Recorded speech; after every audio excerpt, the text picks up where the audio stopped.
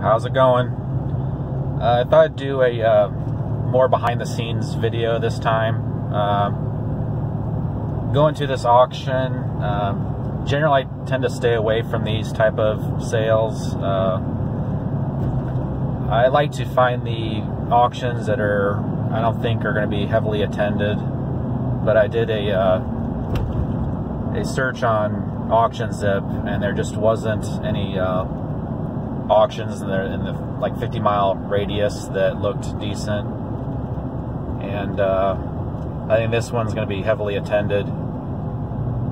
But uh, just never know what you'll find. Uh, I do like this one because it's not going to be an online auction, also. So, from reading the description, uh, there's going to be tons and tons of uh, lunch boxes and toys and also some coins. So we'll see how it goes.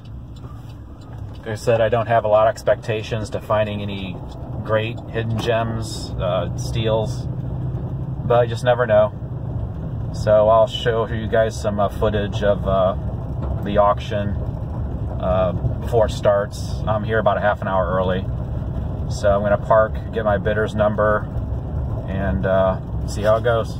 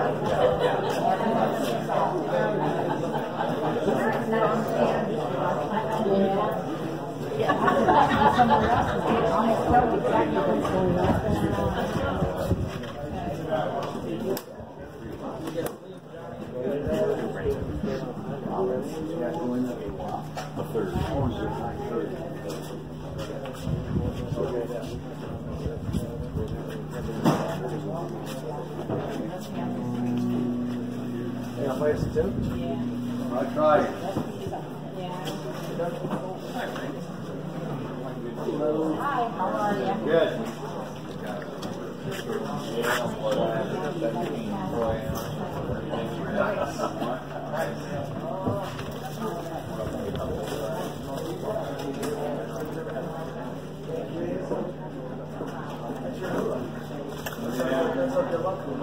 She's too young for me.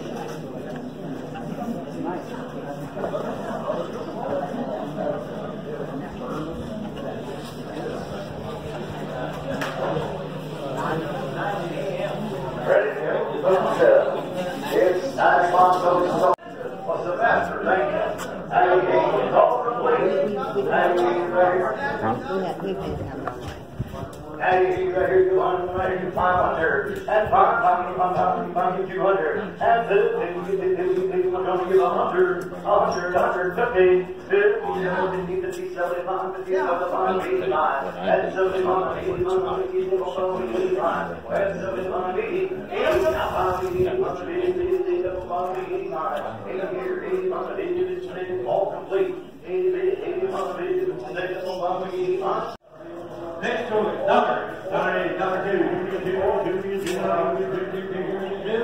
Boom, one dollar, one eighty-one, one eighty-one.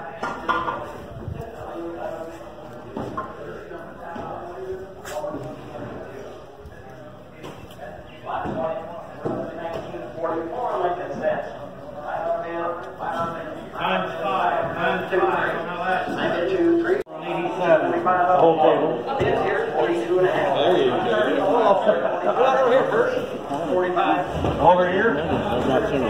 Hold them over here your way, 42 and a half.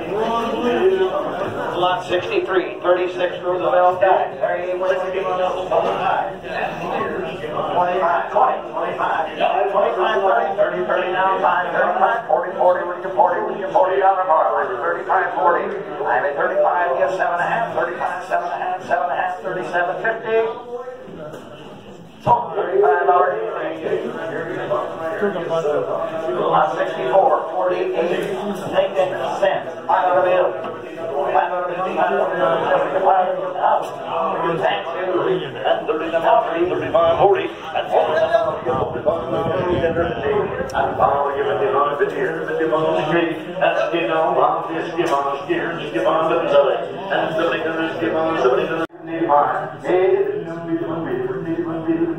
155.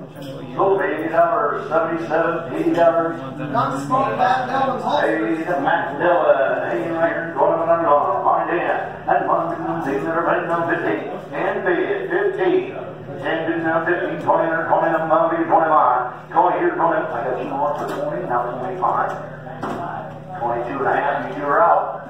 Go on, you're two and a half, go Wear that around my thigh. Try that, have? We go with one twenty-seven. How's it going? Um, hope you guys liked that uh, auction footage. If you guys enjoyed that, uh, let me know and I'll try and do more. Uh, a little bit about this auction. It was a uh, one person's estate. Again, I don't like to really go to these type auctions because uh, they actually removed the contents from the person's house probably a month ago and brought it to another location. Well, that gives the auctioneer and his employees time to sort everything, go through it, and they look stuff up and uh, know what things are worth. Uh, I like to go to the estate auctions where basically they empty the house out maybe a week beforehand, uh, take stuff out, put them in box lots, and uh, you can find some really good treasures that way. But as you guys saw in the footage, uh, I came across this box and I showed the watch that was in it and I uh, put it back where it was found. Um, there was one other uh, guy that buys watches and jewelry there. He must not have seen this. Um, but as that auction went along, uh, you saw all the lunch boxes, uh, the toys. Uh, there was not a lot of people there, but there was a lot of uh, collectors and a f- some resellers there, and the prices were going um, where you couldn't make any money if you're a reseller.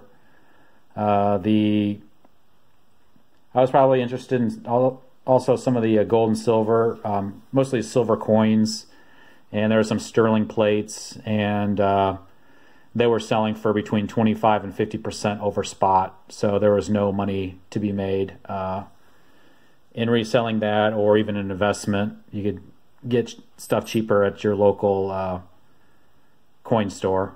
So uh, the McDonald's toys sold for extremely cheap. Uh, one table in that one room, there must have been a thousand McDonald's toys sold for one dollar for an entire table full of them.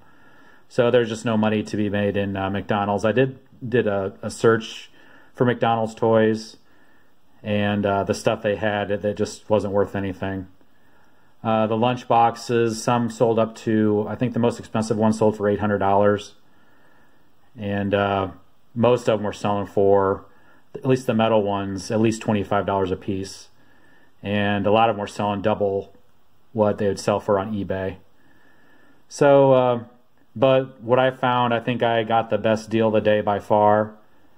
And uh, yeah, my previous videos when I first started, uh, I made a comment that most of my watches I buy them for between two and five dollars, and I had some really negative comments saying that I was a liar, uh, made it up. There's no way I could find those Omegas and uh, the other kind of watches for five bucks, and I was basically making it all up, and I'm a, I was a liar. Well, so I only bought one thing. I was uh, bidder number 122, and today's date, the 29th. And you actually saw this this flat on the video, and they call it watches and paperwork. And yes, I paid five dollars for this flat. And this watch I'm going to show you was on this horrible band, a Timex. Uh, first of all, do a real quick uh, wristwatch check. And I'm wearing a uh, Seiko uh, chronograph from the 90s. But this watch was in this box. It's just a beautiful uh, Ernest uh, Borel uh, cocktail kaleidoscope watch. And I believe this is from the probably late 50s, early 60s. And is actually running and keeping great time. I uh, first got the auction about 8.30. I saw this in there and I could not believe this was sitting in there. I wound it, set the time, and then about an hour, uh, a little after 9 when the auction started, I checked it and it was uh, keeping great time. So uh, yeah, this watch was in this box of just pretty much junk. And as you can see the back, it's uh, clear back, kind of like skeletonized. So you can see the movement. And this is uh, gold plated, like I said, uh, probably from the late 50s, early 60s. I did some research. I've never had one of these particular watches. Uh, these are proper to, uh, popular to sell on cruise ships. So uh, just a great find for $5 in running condition. I did some research on these and these sell for between two and 300. So just a, a great score and this will go in my personal collection. So this will not be for sale. Uh, I'll keep something like this. And it's nice to find. This is actually a men's watch. So if this would have been a, a woman's watch, I would have sold it, but being a men's, it'll go in my collection.